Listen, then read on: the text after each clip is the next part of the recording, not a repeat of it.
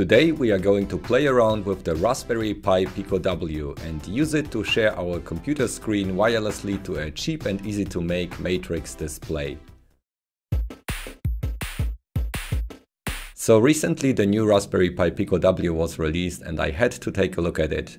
It's a super easy beginner project and the total cost of the parts is only around $20.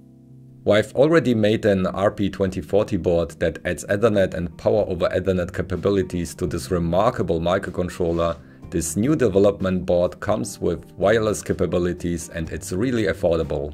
So I had to try MicroPython for the first time of my life since there were some examples released on the Raspberry block. I installed Thonny and tried the simple Wi-Fi controlled LED example.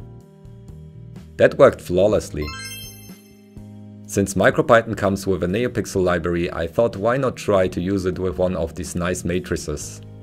I used those to build a simple notification lamp before.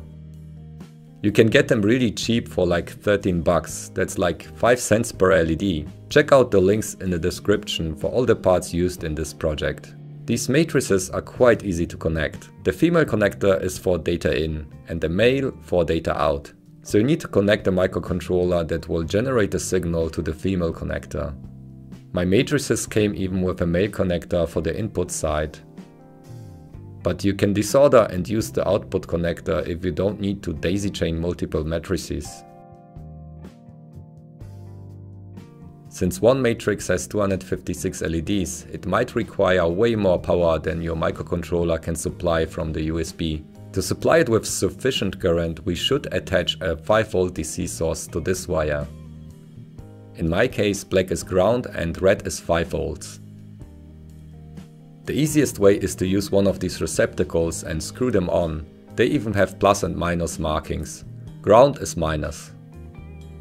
This is good for now, but I will use one of these for the 3D printed case later.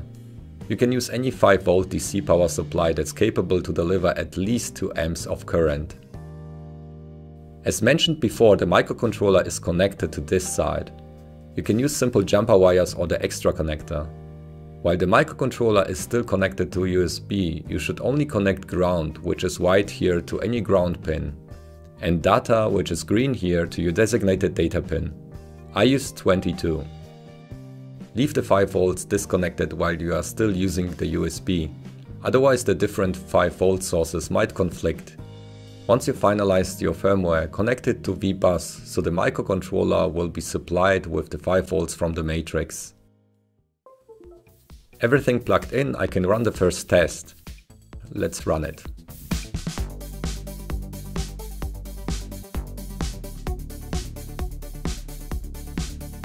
That works, sweet. Next I wanted to use the Wi-Fi capabilities to control the matrix. This is where HTML5 and JavaScript is so beautiful. No matter what operating system you're using, the web browser handles everything for you. You can actually grab the screen contents, extract the pixels and send them to the matrix. I've done that before on stream several times with Serial and WebSockets. Nothing happens, okay. Oh! We have pink LEDs. Okay, board is functional.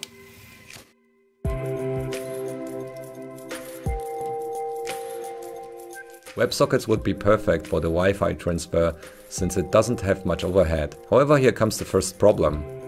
We need a WebSocket server in MicroPython to receive the data. I found an implementation in the Micro Web Server library. With some struggle I made it work with the Pico. However, there was not enough RAM left for the NeoPixels.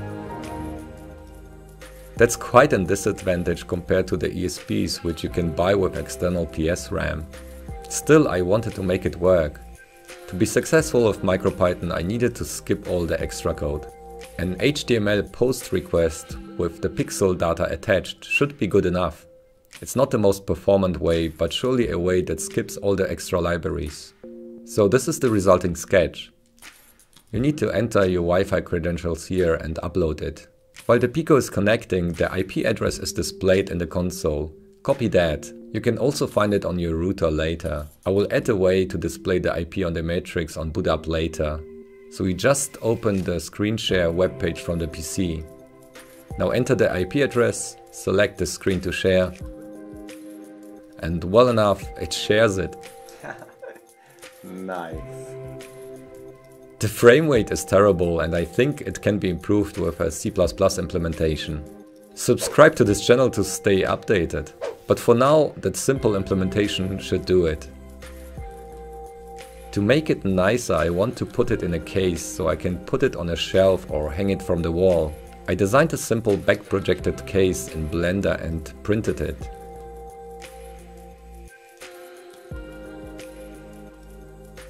The clue with that one is that it doesn't need any infill. It's optimized for 0.4mm nozzles. There is only a bottom layer with 0.3mm and it's used as a back projection screen.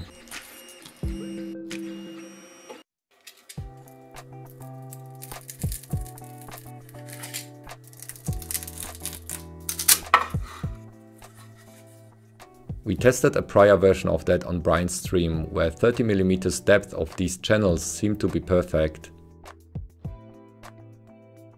I used a grey filament here, but the outer walls needed an improvement.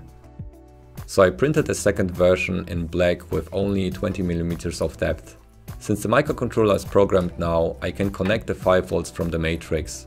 I will use the extra connector now.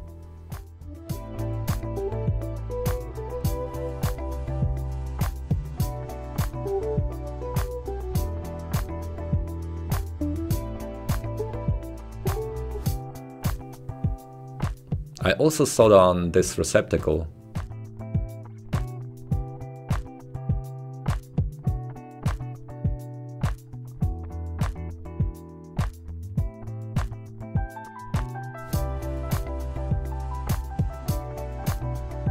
The matrix should fit perfectly in.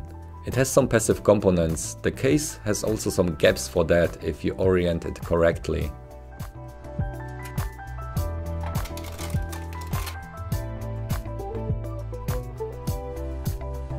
Let's test it.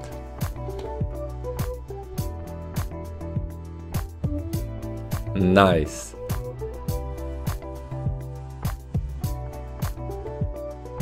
I adjusted the code to use only a fraction of the maximum brightness. It's plenty bright and keeps the panel and the power supply cooler. At full brightness it might need some proper cooling and putting it in a case probably doesn't help. I linked a detailed tutorial, the code and all the parts below. It's a nice project to make with kids and the parts only cost about $20 for a nice piece of art. The case can be printed in a local makerspace if you don't have a 3D printer at home. If you like this project, please share it with a friend. Thanks to all my supporters and I see you next time. Bye!